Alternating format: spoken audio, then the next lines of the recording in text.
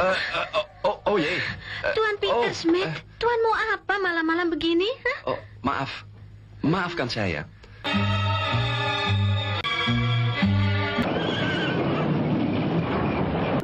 Ya, sekembalinya Nyai Ageng, Ayu ke rumah orang tuanya, membawa kegembiraan bagi sastra orang kepercayaan Raden Permana. Walaupun kegembiraan itu tak sempurna seperti semula karena Raden Permana dikabarkan sudah meninggal dunia. Namun bagi Nyai Ageng, itu adalah suatu kegembiraan kebebasan bagi dirinya yang selama ini selalu ditindas oleh ayahnya. Untuk menyambut kedatangan majikannya, Sastro menyiapkan tujuh dayang-dayang cantik yang siap melayani kebutuhan Nyai Ageng.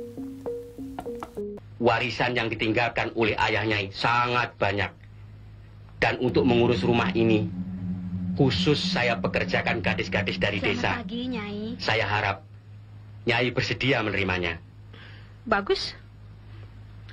Eh, Surti, ambilkan madu untuk mandi basahku. Baik, Nyai.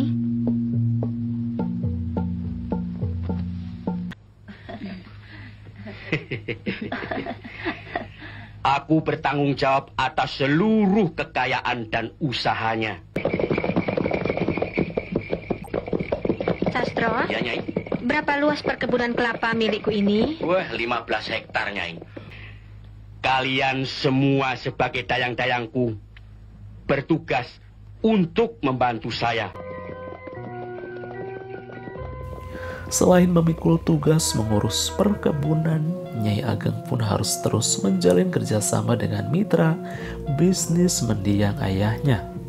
Salah satunya adalah Mr. Peter Smith, keturunan menir Belanda yang tergila-gila dengan kecantikan Nyai Ageng Ayu. Halo, Tuan Peter. Selamat datang. Terima kasih. Apa kabar, Nyai? Di sini banyak orang-orang cantik ya. Tapi teristimewa Nyai sendiri. Ah, Tuan Peter, Tuan selalu memuji Ya. saya sejak ayah masih hidup. Kedatangannya kali ini adalah ingin mengajak kerjasama dan memberikan sesuatu barang berharga untuk sang ratu. Oh ya, saya ada bawa oleh-oleh dari Amsterdam spesial untuk Nyai. Terima kasih, Tuan. Nyai sudah lama menjanda, bukan? Iya.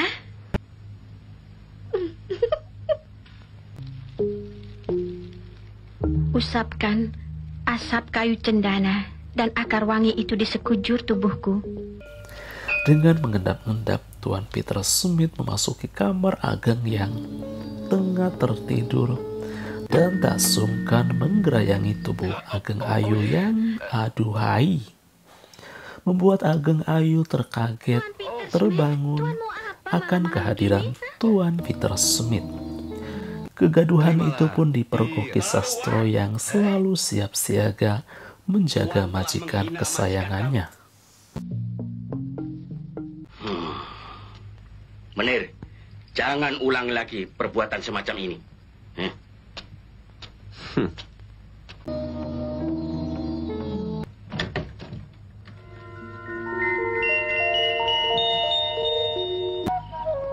Wajahmu akan kususuk dengan berlian dan jarum emas ini.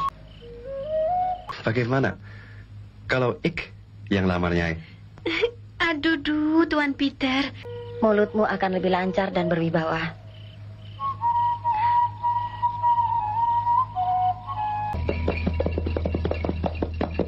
Aku rasa dia masih perawan. Makin menantang. Si Raiki ngerti apa sih? Sastro yang menaruh hati kepada Ageng Ayu tak kuasa menahan gejolak hingga insiden yang membuat Ageng Ayu murka. Apa yang kau lakukan? Kau telah bertindak sangat kurang ajar, Sastro. Minumkan isi kendi ini padanya. Dia pasti akan jatuh cinta padamu. Sejak lama aku memang mengetahui bahwa kau mengingini sesuatu dariku. Diam-diam kau mencintai aku. Kau jangan cemas. Cepat atau lambat, perempuan cantik itu berikut perkebunannya pasti akan jadi milikmu. Tidak. Jawabannya adalah tidak mungkin. Karena kau laki-laki peluh.